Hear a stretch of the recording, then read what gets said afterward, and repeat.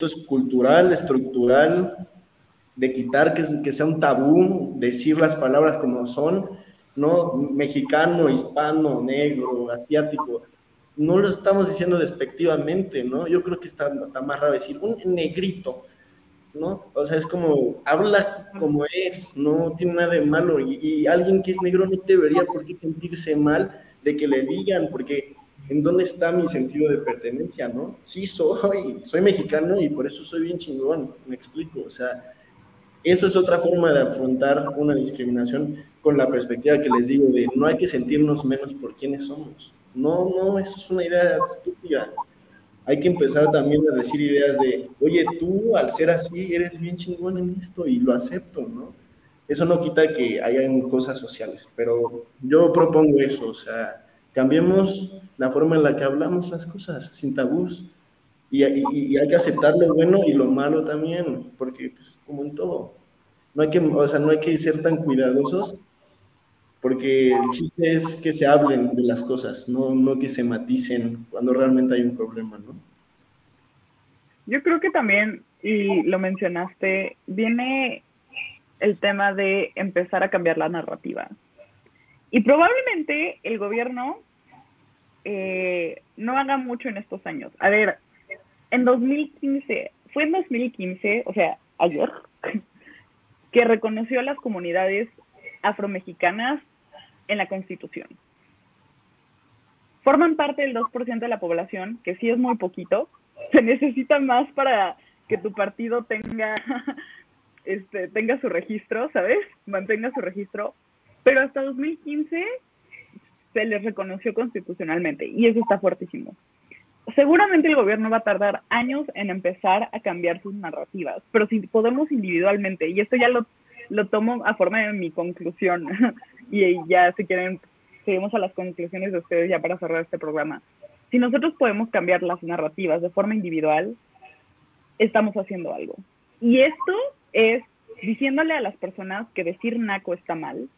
Naco viene de Totonaca, comunidad indígena, entonces le está diciendo indio a la otra persona, decir indio, decir trabajo como negro para vivir como blanco, este, ah, me negrearon, ese tipo de frases que decimos en el día a día representan el estigma de ser una persona de color, ser moreno y ser proveniente de una comunidad originaria. Y justamente ese estigma se tiene que eliminar, y desde lo personal y desde las palabras. Esa sería mi conclusión. Vero, y cerramos. Justo, o sea, creo que sobre todo yo me quedaría con decirle a la audiencia que justo retomo un poco de lo que decía José Miguel al principio, tiene que ver también este problema con la ignorancia, o sea, para resolver el racismo en México y para resolver los problemas sociales en general, me parece que primero tenemos que aprender a reconocer que existen, o sea, a, estar informados, a, no querer este como silenciar los, problemas que duelen mucho en la sociedad y que están muy, muy arraigados. O sea, justo como decía Ana Pau, ahí está la narrativa y ahí están los comerciales y ahí está un marketing en México que funciona a través de eh, seguir perpetuando este, esta idea de las diferencias entre una persona de tez blanca y una persona de tez morena.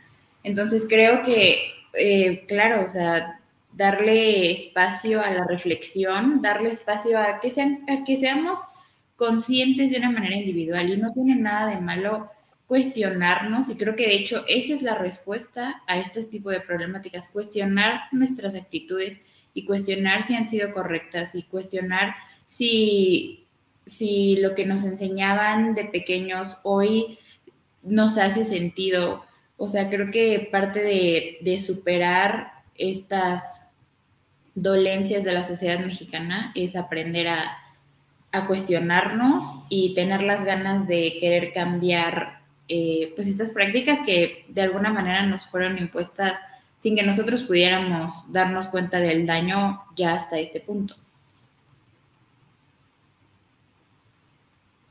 Y pues digo yo, para cerrar así, yo digo, como voy a retomar la palabra de mis compañeras, cuestionémonos, respetemos, y si realmente es importante cambiar el discurso, yo cierro con una pregunta, ¿por qué no, en vez de tratar con todas las fuerzas de visibilizar ese racismo que sabemos que existe y que muchos tapamos, ¿por qué no nos encargamos de realmente enseñar a esos que no entienden el espectro completo?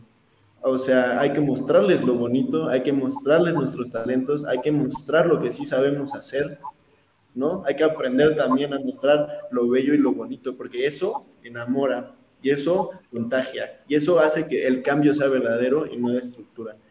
Puede ser hippie, puede ser muy amor y paz, pero yo creo que por ahí está la respuesta. Lo dejo pregunta abierta y pues qué padre debate con ustedes, chicas.